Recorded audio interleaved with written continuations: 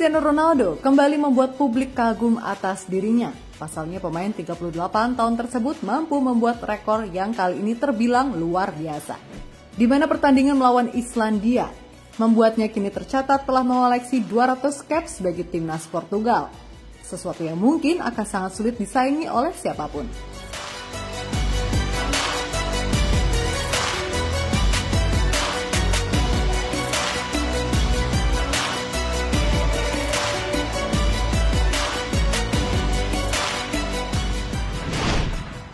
Portugal bertanda ke markas Islandia dalam lanjutan kualifikasi Euro 2024.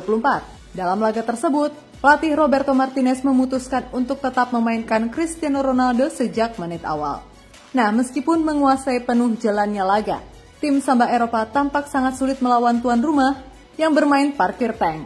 Sampai pada akhirnya, setelah usaha demi usaha dilakukan, Cristiano Ronaldo yang di laga tersebut mencatatkan caps ke-200-nya mampu memecah kebuntuan lewat golnya di akhir laga, sekaligus memastikan Portugal pulang dengan tiga poin.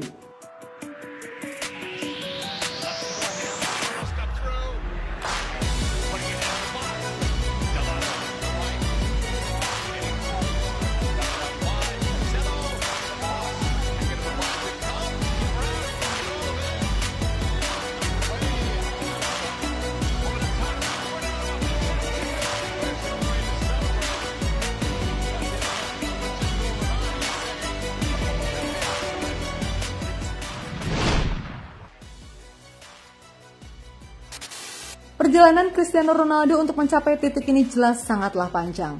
Oleh karena itu wajar bila sebagian besar pemain Portugal yang ada saat ini tumbuh besar sebagai fans atas dirinya. Ya, Ronaldo sendiri mengawali debutnya pada 20 Agustus 2003 saat melawan Kazakhstan, di mana ketika itu usianya masih 18 tahun. Dan ia ketika itu berstatus sebagai wonderkid anyar Manchester United.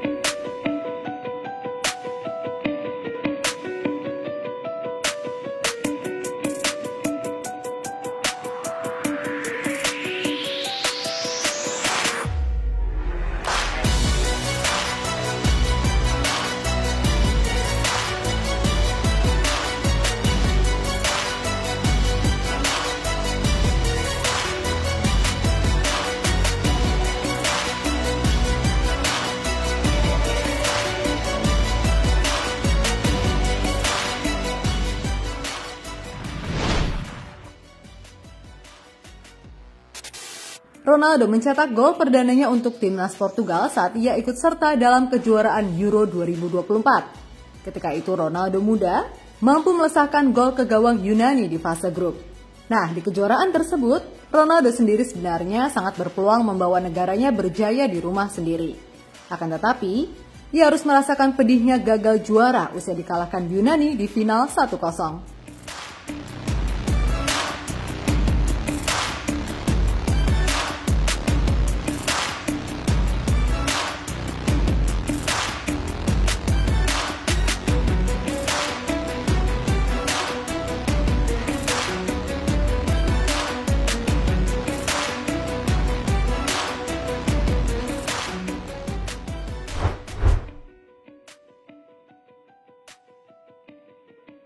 Piala Dunia 2006 Jerman menjadi ajang terbesar pertama yang diikuti oleh Ronaldo bersama Portugal. Yap, setelah gagal di Euro 2004, Ronaldo tentu bertekad untuk membawa negaranya melaju jauh di Piala Dunia. Nah, sebagai pemain yang ketika itu sudah jadi bintang buat MU, Ronaldo jelas jadi sorotan. Dan ia pun berhasil mencetak gol perdana di Piala Dunia saat bersua Angola ketika usianya masih 21 tahun.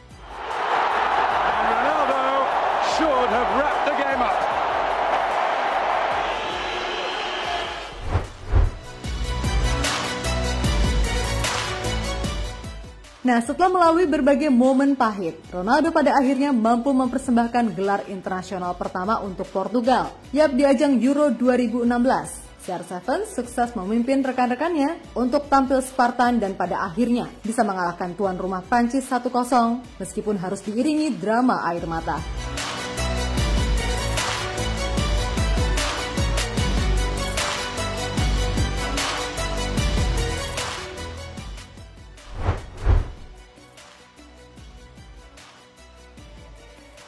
Usai mengantarkan Portugal juara Eropa 2016, Ronaldo kembali berhasil mempersembahkan gelar buat Seleção das Quinas, di mana itu adalah gelar Nation League 2019.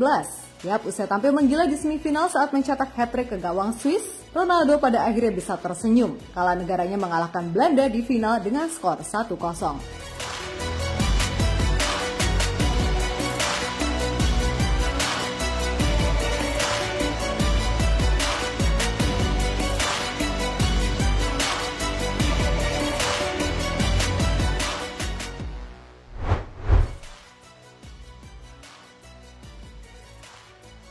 Satu golnya ke gawang Islandia kini semakin menegaskan status Ronaldo sebagai top skor sepanjang masa level internasional. Yap, sebagaimana diketahui, sepanjang membela Portugal, CR7 telah mengemas 123 gol. Dan kini meskipun usianya sudah 38 tahun, tercatat pemain Al Nassr tersebut sudah mengemas 5 gol dalam 4 pertandingan di kualifikasi Euro 2024.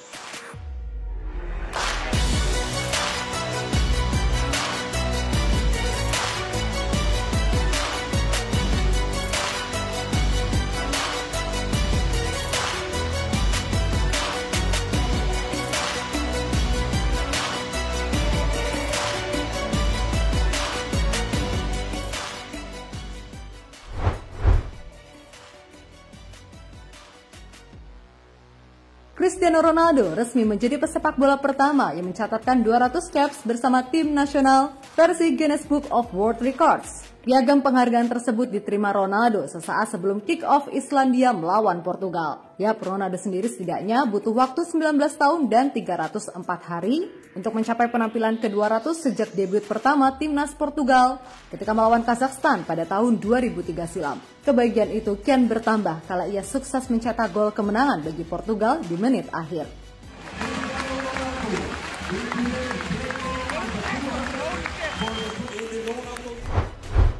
Sementara itu, usai laga, Ronaldo sendiri mengaku sangat bahagia dan sempat tak percaya diri bisa bertahan sampai sejauh ini. Saya sangat bahagia. Ini satu momen yang Anda tidak menyangka bisa meraih 200 caps. Bagi saya, ini pencapaian yang sukar dipercaya. Untuk berada di dalam Guinness Book of World Records itu luar biasa. Tentu saja bisa mencetak gol membuatnya menjadi lebih spesial. Ujar Ronaldo dilansir dari situs resmi UEFA.